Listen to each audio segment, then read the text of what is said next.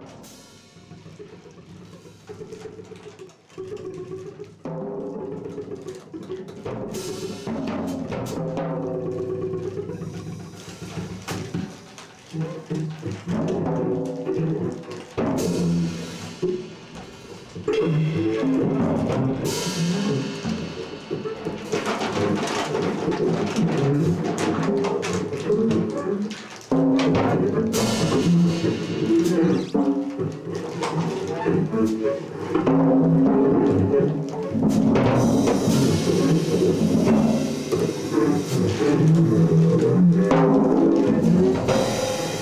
Thank you.